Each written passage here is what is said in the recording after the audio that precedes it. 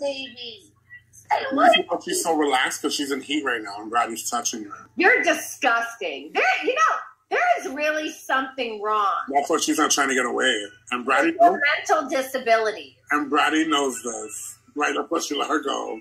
Right. right.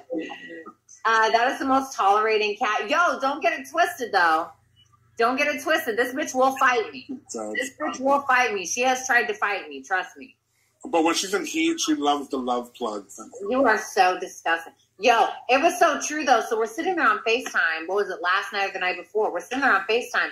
And I'm like, You're disgusting! Get away from me! And I'm like pushing her away because she's trying to rub her fucking kitty coochie on my fucking leg. And I'm freaking out, right? So I'm pushing her away. He's like, This is the thing about her being in heat, honey. It's like you're pushing her away, but it's like she's getting off on it. She absolutely was. It was disgusting. It was like fucking weird.